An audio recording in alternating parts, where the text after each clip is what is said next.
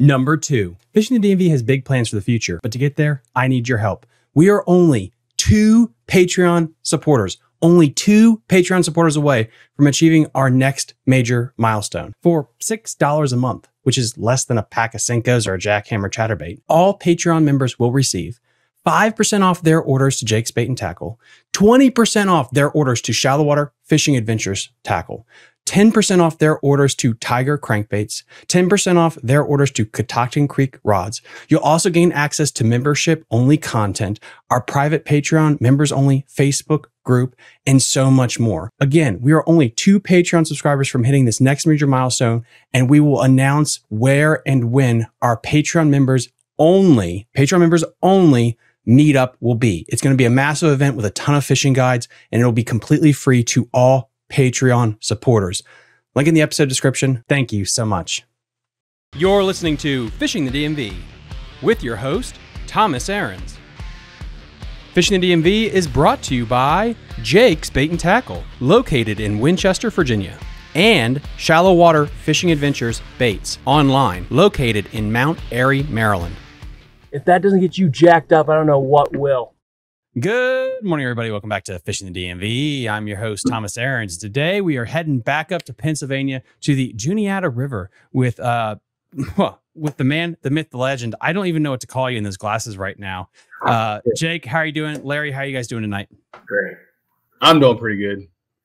Um, to really set the stage here, Larry just won the big event up on the Juniata River. That was this is a fun story here with this. It was scheduled to be the first event of the year back early in the spring, but because of the weather conditions not behaving, Jake, you had to call an audible and move it, correct?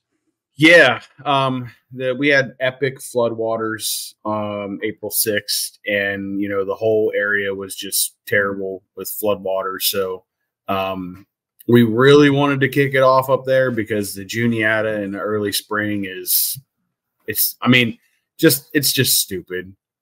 Like you can go up there in the early spring and catch, you know, five 20 inch fish really easy um, in in one day. Like it, it very well could have been 100 inches that won that tournament in April. So um, it's a major spawning hub of the Susquehanna. A lot of big fish migrate up there in the springtime. So, um, but we had to we had to adjust adjust fire on that, and uh, you know come back to. And the other thing too, with uh, you know, Pennsylvania has a closure during the bass spawn where they go April fifth, the second weekend of April to the second weekend of June, that are shut down, and you can't have bass tournaments or fish for bass or target bass on beds, I should say. Um, so since they had that closure, and we had the, you know, we had to push it back to June 22nd, and probably wasn't the best that the Juniata River could have fished with extremely low clear water and terrible heat. Um, but Larry, uh, you know, Larry put the smackdown on him, so some people figured out how to catch him. So does does the Juniata have any issues with with droughts this time of year? It's funny to think that we yes. have flooding and then we have this massive heat wave all in the same year. Yes. Like, would you have potentially had to like move it again? Because I know the no. Shenandoah and the Potomac, no, might not be able to fish it. So, so the the great thing about the Juniata is when it gets low, low, low, it basically makes it where most most jet boats can't run. Right, most most people who have a jet boat are typically not going to go up and chance it on the Juniata in the summertime just because of the amount of grass and the amount of low water. Um, it makes it a very difficult fishery to fish. So it's actually a kayaker's paradise. Um, a kayaker can get on that river and float down it and drag around, and you know you might go, uh, you know, a stretch where you got ankle deep water for you know a half mile. Like it, it's just you know, it's one of those types of places where it's it's actually set up best for kayak fishing. Um, so there was no chance that we were going to move it the second time around unless there was more high water. And and I just want to like I want to talk about the amount of water that we had for that first tournament. On June 22nd, I think the gauge was like what three and a half feet at the Newport gauge, yeah. something like that. April 6th, it was like almost 20 feet at the Newport gauge. So imagine 17 feet of water more. Like that's how much water we had. That's you know, Dang. it was um yeah. That's absolutely insane. Yeah, it's just interesting because you know, as of recording this, NVKBA, we're trying to have our event on the Upper Potomac um, from the Great Falls to Harper's Ferry, and there's a massive drought. Uh, Shenandoah National Park, you're not allowed to fish certain streams and stuff because we haven't had any rain, and it's just getting really bad here. But I guess also because of Raystown Reservoir, that does help. Where that thing's always pulling water, right? So No, not necessarily no. really, Um, I mean, it, it there's always going to be water running out of it, sure, but um, you know, it, in the in the low water conditions, they may not they may only be running what they need to run, which might not be a lot based on what the streams that are feeding it are putting into it. Because Raystown is not, and I don't believe it's an electro power dam. It's it's a recreational body of water more than it is for anything else. So they they make sure that they keep that place full. That way, the people coming from New York and other places can get out there and run their big fancy motors on their beautiful big fancy boats. So going into this event, then how how do you practice for something when it's super shallow? You're dealing with hot conditions. Fish are going to be very spooky. Uh, Larry, I mean, we could start with you. Like, what was your practice like leading up to this event? Well, the week before I practiced, a few ramps up. It was definitely shallow, but it was it was good conditions. But that was really the start of our first heat wave. And this Yeah. the Juniata tournament, I mean, it cranked the heat up that week greatly, and I figured that would uh, slow the bite because you know it's it's summertime fishery, and typically, you know, you're, I'm going to hit it aggressively in the morning for a first hour, and then. Uh, my assumption was right that the fish slowed down, you know, in the afternoon, and then I just had to drop down to a little bit of a finesse swim bait, and you know that was, you know, successful there. But I mean, there, I just fished it, you know, like the main stem. You know, I mean, it just, I mean, both rivers fish to me the, the same, um, but the water influxes would, would changes it. What does that do to the fish, in your opinion? Um, well, there's on the on the on the juniata, what I see is it obviously pushes them to the banks on the higher water. Uh, a lot of the banks are, you know, they have a little bit more curvatures too, where you can, you know, can pinpoint them to ambush spots. Where the main stem, main stem is a little different. You have more straight straight river there. Hmm. Um, but uh, I went into it thinking that you know on that first event there that the fish will be shallow in the banks in the morning, and that's what what was what where they helped me, and that's where I did most of the damage was the first hour. That is fascinating to me. How every river river is different because, like the Upper Potomac, the Shenandoah, right now, you know, this is no spoiler, but like I'm catching them in shade lines, like it, when it's hundred thousand degrees, shade lines. But I got to go up for the first time, and uh, Jake, I don't think I, we did this on a stream yet, but with a friend of mine to the Susquehanna. Holy crap! It you do fish. You that thing left came, you came to my hood, and you didn't tell me that you were coming. I saw those photos, and I literally wanted to go out and find you on your boat and choke slam you into the dirty Susquehanna River water. I'm like, this worthless son of a. I was mad at you. Um, but I think so. If I can piggyback on what Larry was saying about the, you know, about the river, that in June, you know, that first hour or two was really key. Crucial. It was absolutely key. And and that's honestly that's one thing that absolutely destroyed my day. Um one thing I'll say about the Juniata, the Juniata when it's low and clear and those fish can see a long ways.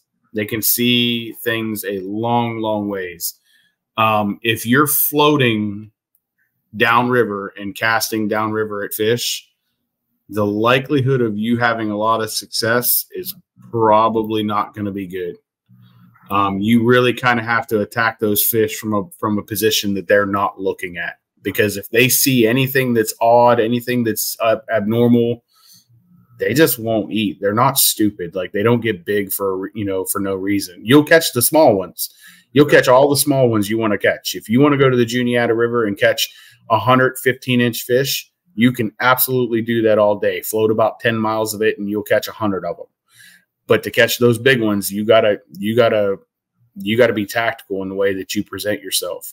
Um, and that was one thing that absolutely ruined my morning.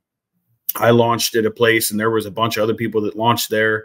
And I had a very specific plan where I knew that there was some big fish at and I was going to fish this hole. I was going to let people, you know, kind of go away and and do their thing and start their floats.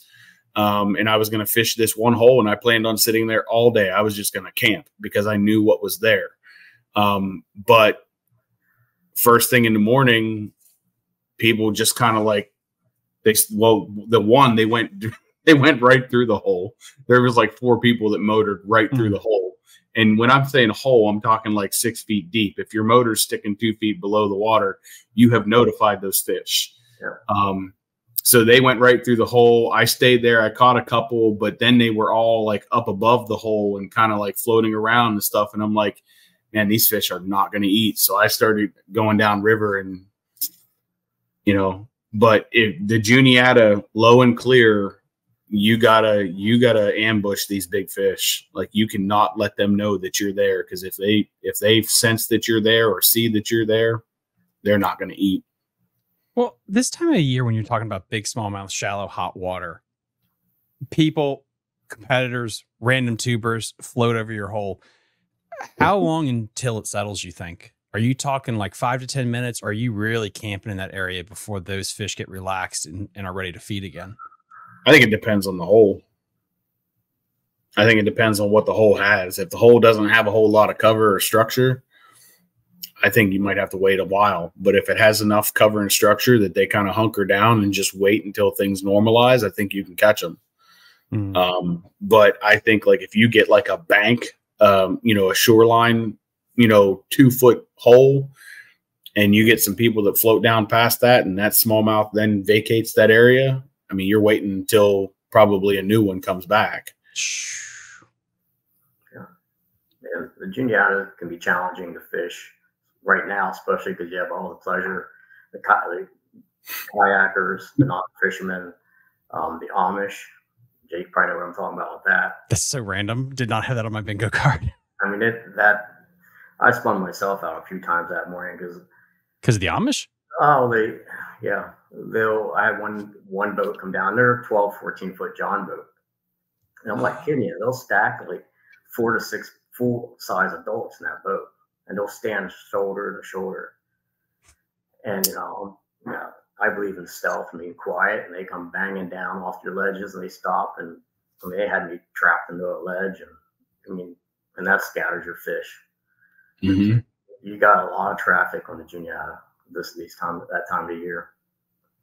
I mean, then let, us really get into the tournament day. Um, you, you, talk about the morning bite being crucial, which gen- generically speaking, across the country this time of year it is. Are you planning on making a long run or are you trying to get as close to your spot as possible to maximize the time you have that early morning bite? With with a kayak, I usually try to limit myself to four miles from where okay. I'm on. Um, you know, I have a little bit of a milk run designed, but you know, that's that's about the furthest I want to run, so don't waste too much time. And I'm and the kayak and I'm power fishing now. And you're working upriver or down? Upriver. Upriver. Okay. So I do single access. Smart. Smart. So, I mean, how did your day progress? When did you get your first keeper in the boat? Uh, within within minutes. Oh, well, that's, that's yeah, It was, it was, the first fish, but you know, it was. It, I just seen an ambush spot that I'd fished before, and um, the past two times I fished, there was always a uh, always a a, a good sized bass sitting on that that area. And I'm talking shallow, like I call it fin shallow, to the point that where, you know, the, the backer, I'm sure Jake's seen it before on the river, is like the fin, dorsal fin's practically out of the water. And I, I That's impressive. It's it's crazy because you know years back I would think, hey, go for the deep water. That's where they're at, but they want that oxygenated low water.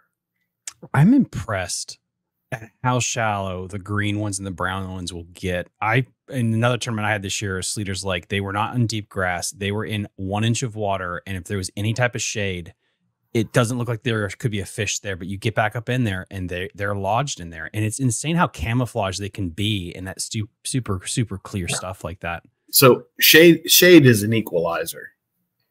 Um, I don't care if there's a whole lot of current. I don't care if there's structure, cover, shade is an equalizer. If you get a spot that is going to be shaded all day long, there will be a fish there.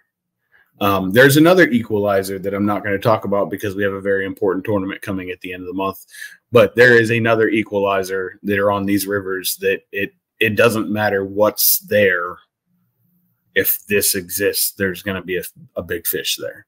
But shade, shade is huge.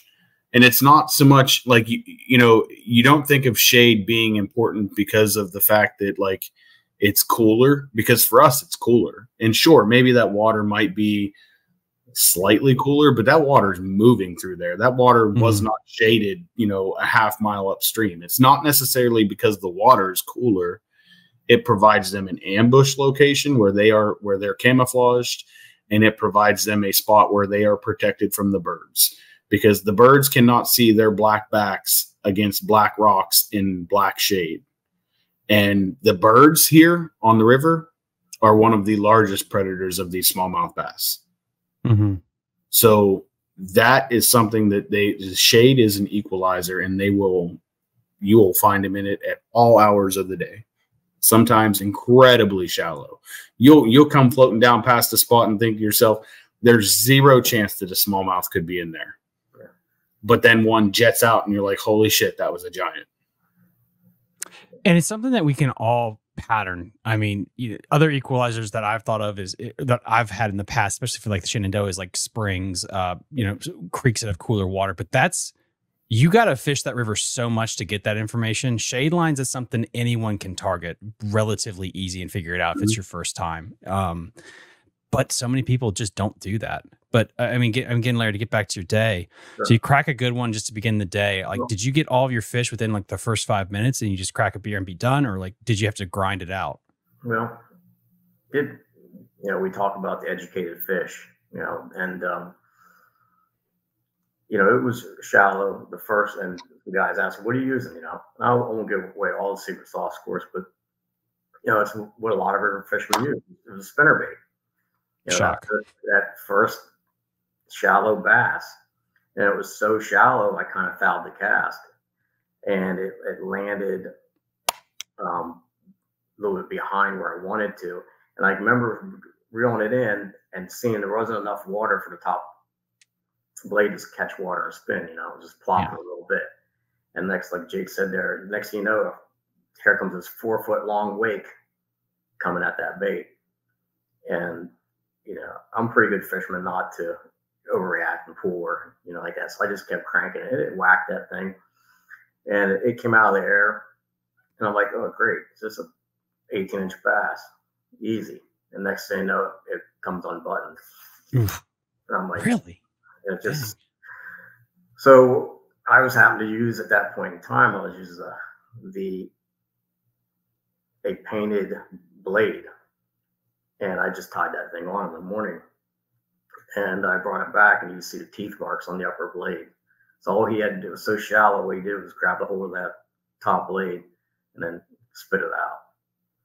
I ran across that a couple other times this year too with the blades. They were just hitting the top blade. And uh, but anyway, so I was a little frustrated. Shook that off. Went up probably another on the bank again, another probably 40 yards. And the scene found a rock, and I said, "Man, it looks so fishy. I'm going to throw it in there." I threw behind that rock three times, no bites. Threw the head of the rock twice, no bites. The next time I, I threw the last cast is the last time, and I said, "There's got to be a fish in there." I brought that spinner bait back like a jig and jigged it back, and it, hmm. it, picked it up just like if you were jigging fishing like a Ned rig. And that and that was like 19 and a quarter, 19 and a half, something like that. Why is spinnerbait versus so many other bladed presentations this time of year? Because I would not have had some spinnerbait on my bingo card versus like an inline spinner, uh, uh, you know, an underspin, something like that. Yeah, I, I don't, I don't know, Thomas. I was, I mean, I've gotten beat and crushed by other anglers using blades, and I could never figure them out.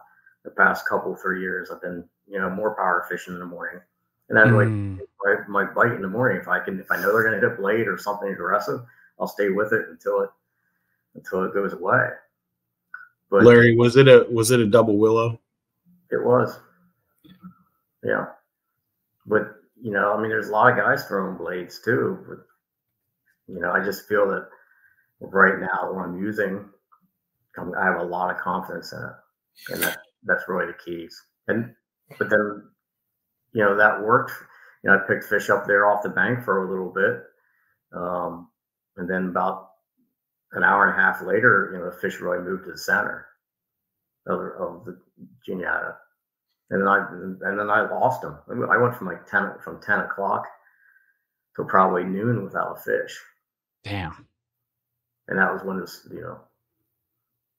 And I I and you know eventually oh there was one there was another spinnerbait fish that was very shallow, and sometimes you know you know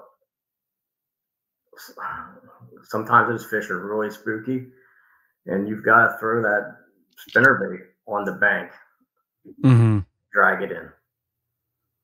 And I fouled that cast up too. I threw it in there. It was just on ambush foul. I think I hit the head, hit the fish on the head, and it just went out again like a you know twenty inch carp. now I came back later, two hours later, um, and threw a uh, swim bait in there, downside swim bait, and I'm, and I'm confident I caught him. And that was the kicker that really helped at the end of the day. Swim So- bait makes sense. Yeah, that makes sense this time of year. if I could if I could hit on the whole spinner bait aspect, um, specifically the the double willows, um, I like a double willow almost all the time. I think if you need vibration, you can get good vibration out of big double willows. But the double willows, they look like our bait fish. They're the they're the same size as our bait fish, right? Mm. Um, but the spinnerbait is so versatile. Sure. It's such a versatile bait in the in the fact that, like Larry was saying, he could work it back like a jig and not get you know not get hung up. He could work it back super like well. I- I'll just run through it. You can work it back super fast, and you can make those blades flutter across the top of to Yeah. the top, uh, the top of the water, and you can work it back like a, a like a dang top water, and they'll eat it that way. And if they start getting a little bit lower in the water column because of whatever conditions, then you can drop it down and you can, you know, you can pump it and burn it and it maintains its, you know, where where you need it to be. And then if you want to drag it back like a jig, you can do that too. And it stays complete, almost completely snagless or snag. Yeah, it's snagless. I mean, it's you know you, you're not worried about the hook getting caught because there's a big wire in front of it.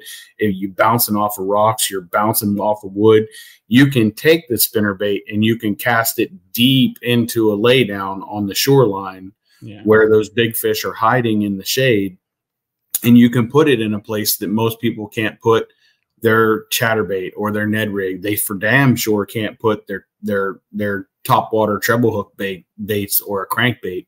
So you're putting this bait in a position where other people aren't. The spinner bait and this is why it's so popular. It is so versatile in the ways that you can attack these fish on the river system that it just makes it, in my opinion, hands down the absolute best river fishing bait that you can use as a spinner bait. Are you compressing the frame in the shallower water like this just to be able to keep it under the surface? Not, No, I I'm don't. I'm not. I mean, they get all bent up. I only know the original shape. Yeah, at times. I mean, I, I don't know. I probably caught 250 fish since March, since April when the water turned 50 degrees this year on spinnerbait. Mm. Easily. I gotta start adding that back into my rotation. But I- I'm I- I'm very seasonal and situational with spinner baits, but I guess it's because I'm such in a weird relationship with a swim jig and a crankbait, honestly, which is unhealthy. But you know, This, you only got so many bait, rods. the spinner bait never leaves my it never leaves my my tackle box. Um, I'll use it in the wintertime. I'll use it in the summertime. I'll use it all the time. It, it, if I feel like I need to catch a fish, if I need just one fish, the spinner bait's the bait. There's no other there's no other bait that compares to the power of a spinner bait, in my opinion. And So with that said, it sounds like you started off with a spinner bait then, Jake, on your, Nope. your tournament day. no, no. I I started off with the Jackall Pompadour, and in three casts, I had two fish. So, Good start. Yeah, and then after that, the guys were like, if I was here, there was one here, He like here, here, here, here, here. They were all up in front of me, and I was like, this is pointless. I'm I'm not going to sit here and frustrate myself. So then I went downriver to another spot, and that spot just didn't. I had a lot of floaters. I had some jet boats coming through. Like it was a mess. Yeah. And I actually about mid morning, I went back to the launch and packed up and went to a different spot. So I cut out about an hour of my day. Was that su- smart, successful, or It was fantastic because I got in the truck and put some air condition on. so that's a no? Gotcha. I mean, I was I was in I was comfortable. Stopped at a convenience store, got a nice cold drink. nah, you don't need to do that, man. Yeah. Heat stroke doesn't last too long. So, well, Larry, how did you how did you refine the fish? what's that? How did you relocate the fish? You said about noon you kind of lost them. What was that? Just mentally you were burnt out because it's 180 degrees, or was it more like you just did legitimately lose a school?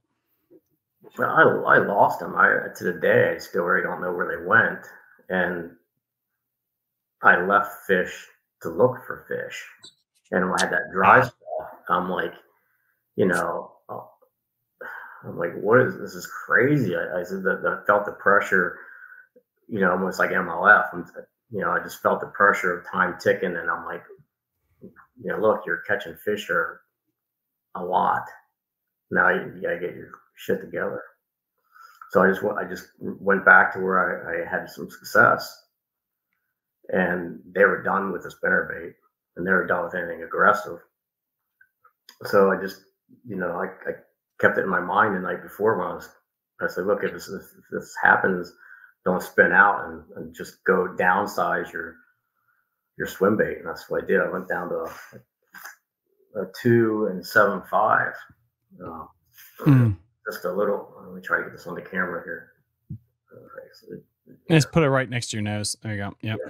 so and and that did very well. It was just Z-Man mushroom head. It was on like a Ned head with a with a sinker, Oh, okay.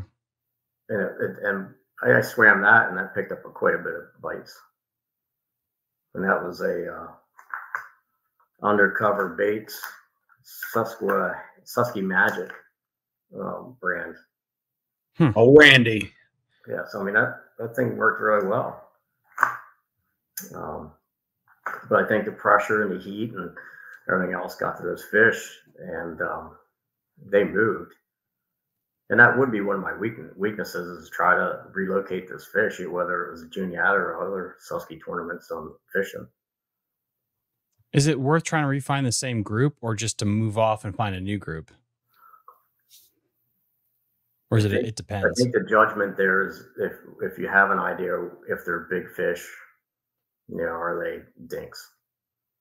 Like I could see, like I knew that the giants were set up on ambush sites or, or anything like a uh, a depth change.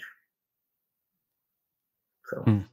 but I, I, you know, but it is it's a tough, especially when you have a kayak. You know, you're not in a jet boat where you can run to Yeah. different spots. That's why I just try to limit myself in a four mile area. And you got to figure it out. Yeah, no, I, I agree with that. Whether it's a kayak or, or a boat, it's the idea of you can run too much. And even just because you have a motor, whether it's a 250 or a little torpedo, like you can't just spend your whole day running. And you got to be really crazy good at that place to know every spot. Um, uh, Chun, who fishes the Upper Potomac Shenandoah near us, like he will, he puts two batteries on the thing and he burns, but he's known that river so long, he will make one or two casts and move. And I think a lot of people fall into that trap that they think they can fish like that. But if you don't have the spots kind of mapped out meticulously, like you're just your your timing could be completely messed up. So I, I definitely feel that. Right. So when did you think that you had it? Um, I wasn't really sure, Thomas. I, I didn't. Normally, I'm looking at the app, you know, looking to see where anglers are catching, and I just went in the mindset that, you know, 95 inches. Had, if you didn't have 95 inches, you weren't winning. So I just kept fishing, and uh, I don't know. I think I only checked on the standings maybe twice. I, I just because I, I didn't think that I I didn't think that 90 inches would do it. So I, my mindset was just 95 inches. And Yeah, uh, I, I I personally think the only reason 90 had a chance was because of the heat. yeah, Yeah. and you know, and I really didn't. You know, it was a different time of year. I know in spring is you better be packing 95, 98 inches at that river. But it's, I really, I really wasn't positive that I, was- I did that great. And then when I caught that last fish, you know, close to lines out, I went to, oh, I went to take the picture, and my camera said overheated. My phone. That's just totally. Then the sweat was pouring off me. Now I was like, and then the cell service is not that great. So I went back to the ramp, and I finally got submitted. And then when I looked at the standings, it said standings were shut down or closed. So just walking up to the truck guy was like, you know, how'd you do? And I'm like, I don't know. I said, I think I got, I think I got 90 inches. And someone said, well, if you got 90 inches, you probably won it. And that's then that's when it sunk in. And so I was like, For people that aren't familiar with with with, with your rivers up there, would 90 get you top 10? Were you comfortable with that, or was that really low weight or low weight? Sorry about that. Uh, were really low inches for this time of year. no, I think if you're if you're at that 90 inches, you're probably in the top 10. Jake, It I, I think I think it's a, that's a dependent question because if we would have had a week of 80 degree days, I think 90 in the Juniata probably would have gotten you a top 10. I don't think it would have gotten you a top 10 in the Susquehanna if we had a week of cool uh, cool weather. Um, you know, you know, it, it's the the Juniata in the summertime is it fishes different than the Susquehanna. Um, there's a lot of a lot of fish, but because of because of the fact that it's a spawning hub, um, it's there's typically a lot of 15 16 you know 16 and under inch fish that live in that river system. And you literally have to weed through a bunch of those to get to the bigger ones. Um, and the bigger ones are giants. They're giants. I mean they, those fish are they they're resident fish. They live there all year. Like they're big. Um, but the susquehanna just tends to have a lot more of that 18 to 20 inch class fish that are in more abundance. So I, I, I have a hard time thinking that 90 inches gets you a top 10 in the Susquehanna. But again, that heat, that heat was a huge factor. Right now, 90 inches would probably get you a top 10 in the Susquehanna.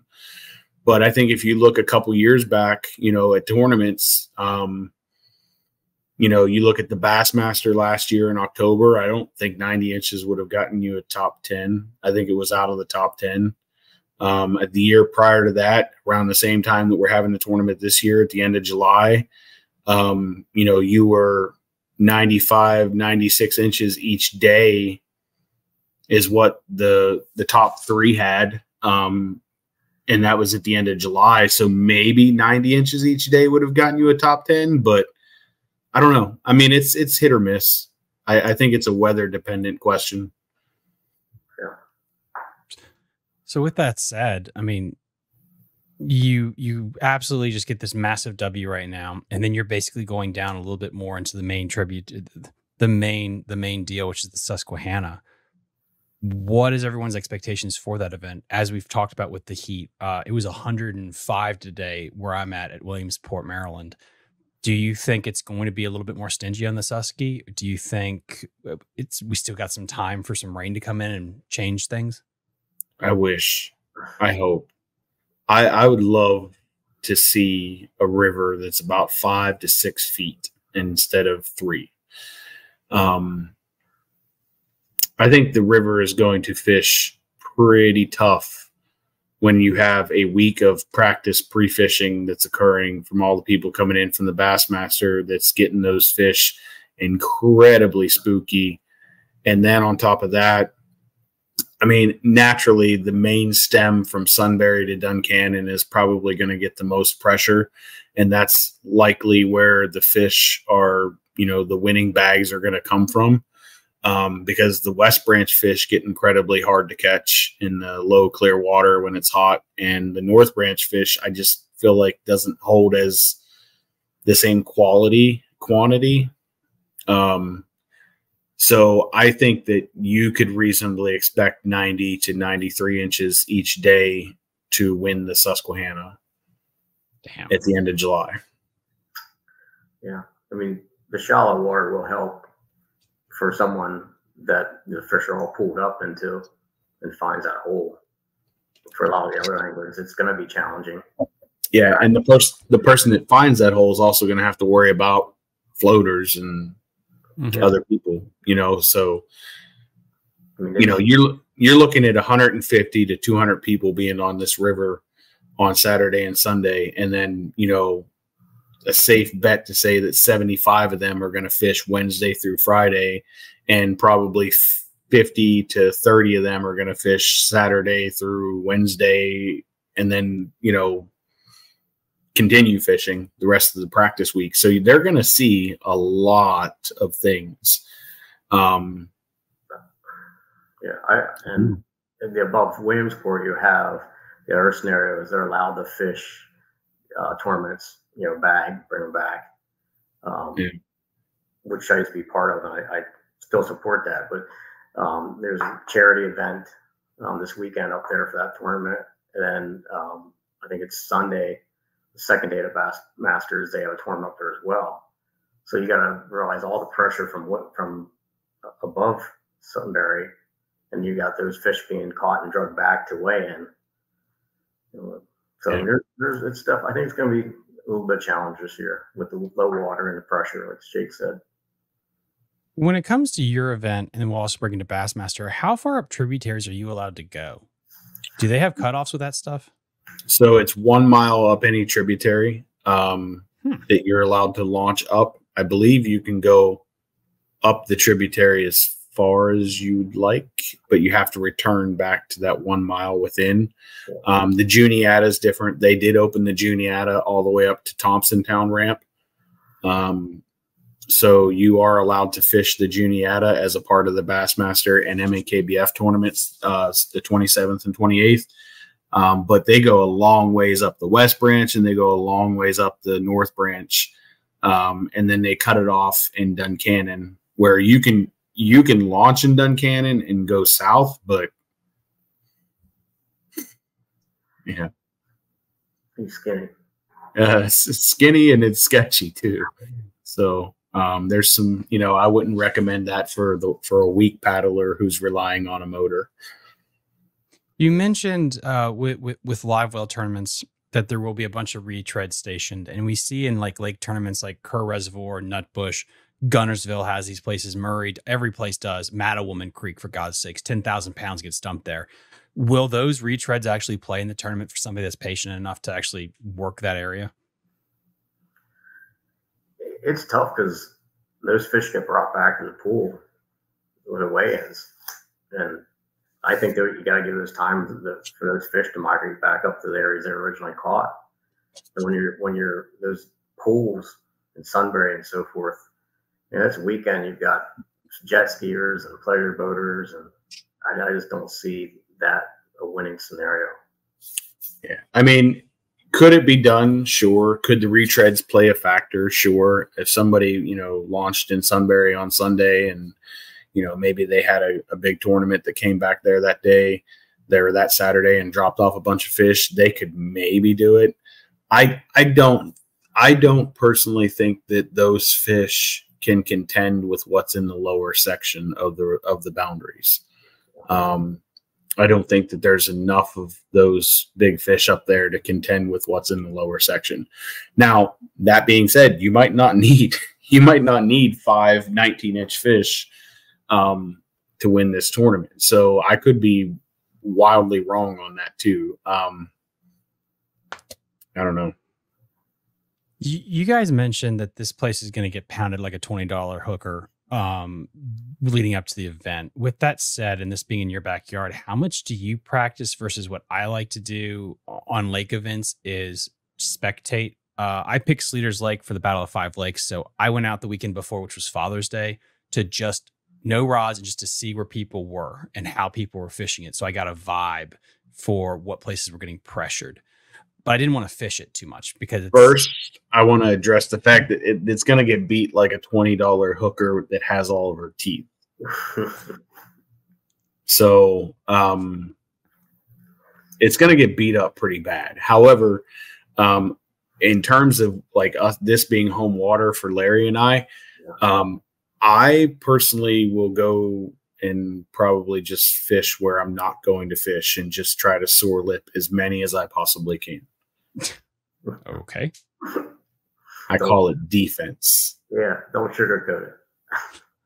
I, I, you want me to lie to you? I mean, I'm not gonna. I'm not gonna lie to you.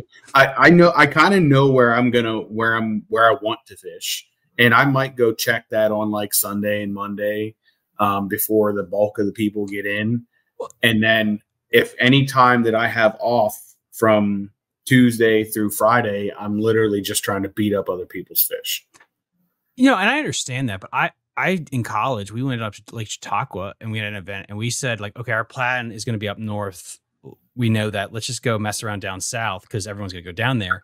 And in practice, we smoked them and we're like, oh shit, let's just completely bail on what we were originally going to do. And we stuck into the tournament. And like, aren't you afraid you go there to, to mess with them and you catch 106 inches? No. You are going to be like, you know what? It's okay. I'm going to leave that.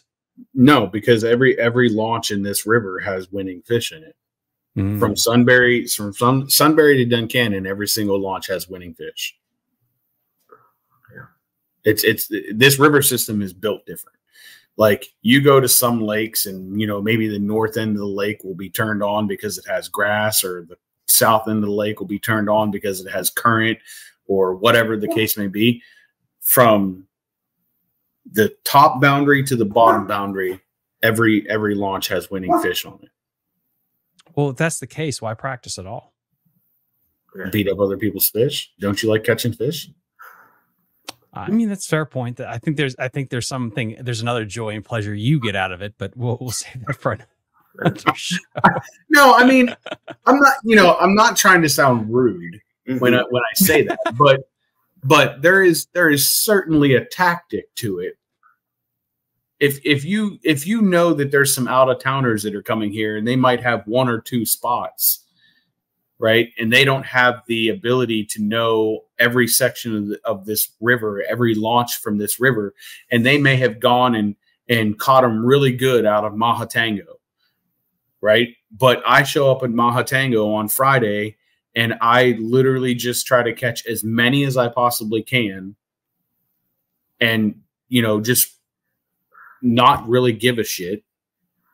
There's there's a tactic to that. And I don't that care work? that these yeah it works.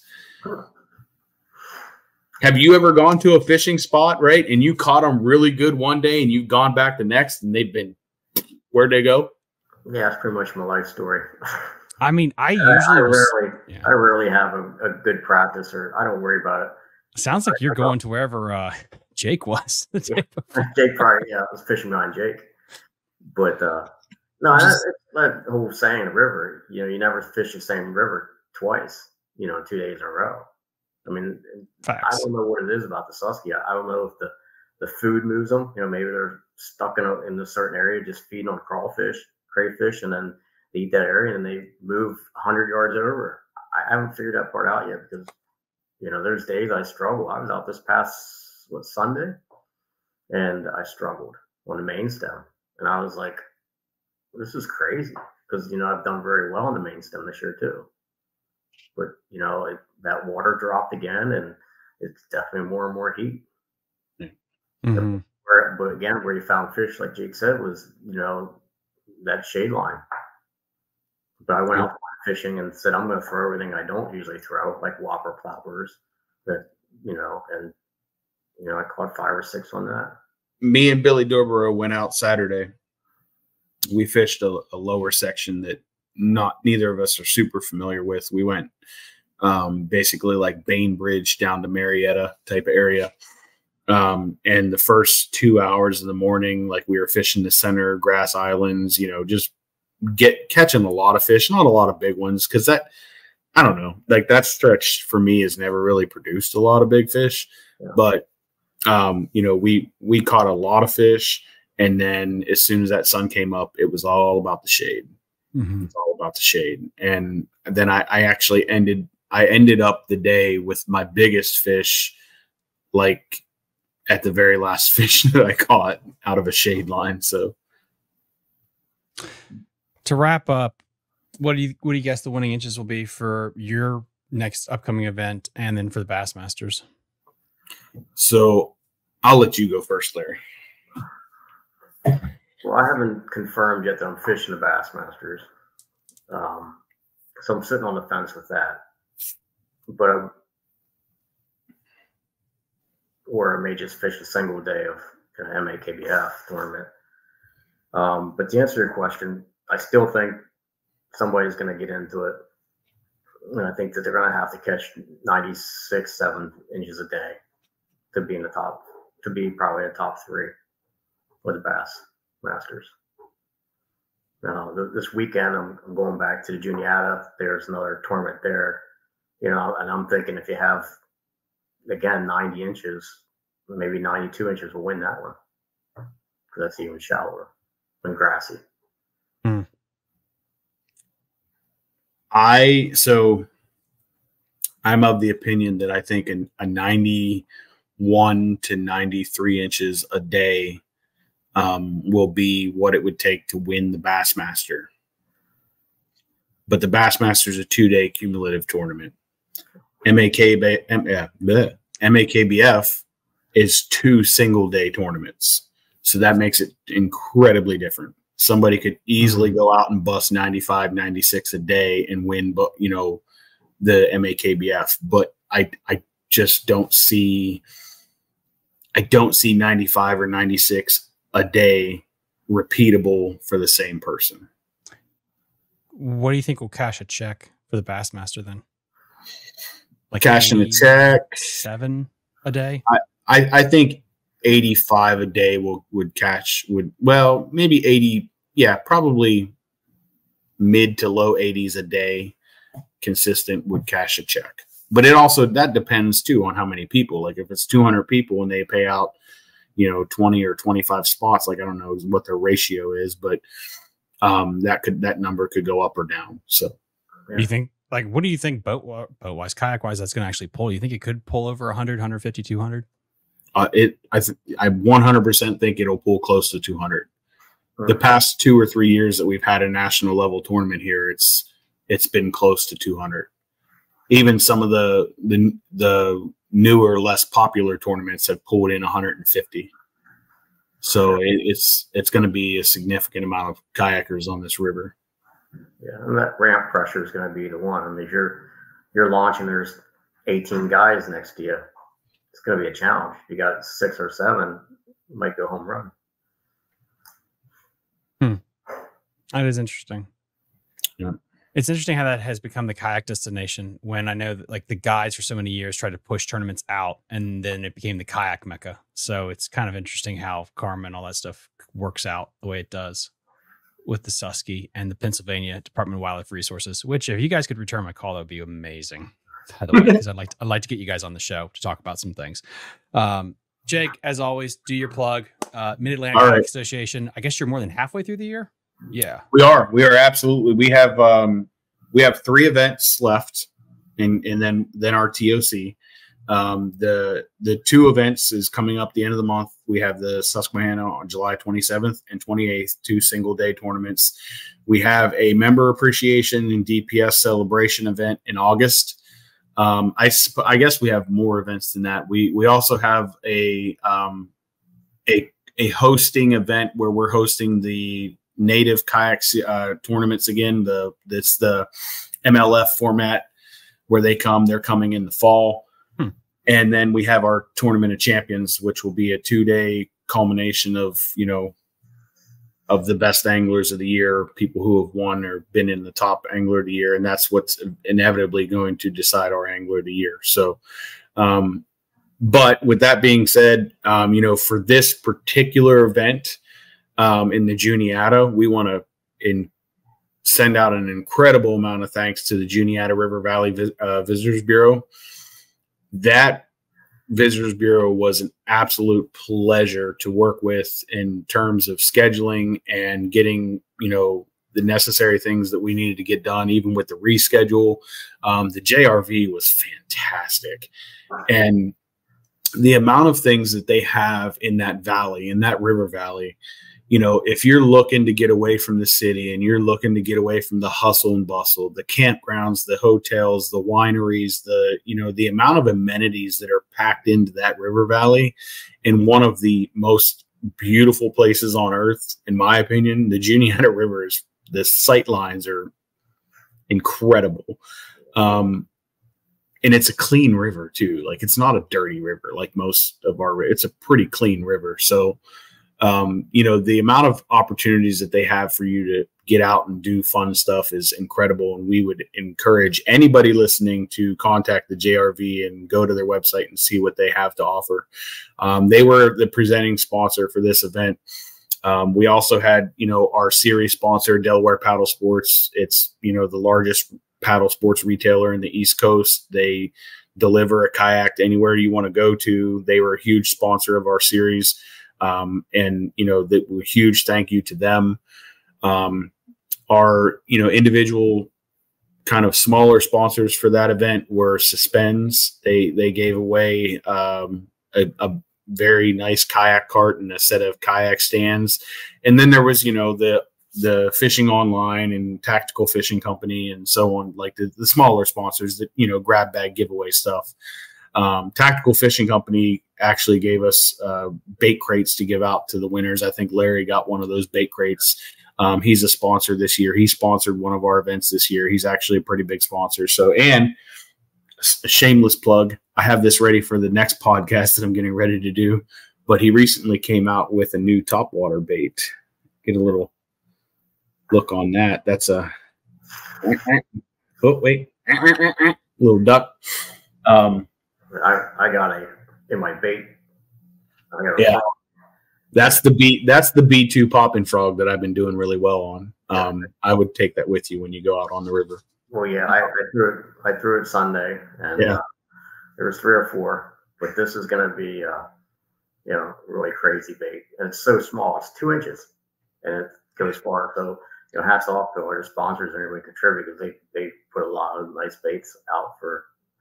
One one thing that you know with his with his top water baits and his frogs, most top water baits that you get are not good for smallmouth because they don't compress good enough. They don't have, you know, they don't have uh just the like this thing is just super pliable. You have to And- like boil them. I remember doing Yeah. it for a lot of old frogs. I You don't have to do that with this. Let me see. I can't really get it to. Oh wait, here we go. Yeah. I mean, it's it's got a, a ah, forget it. Never mind.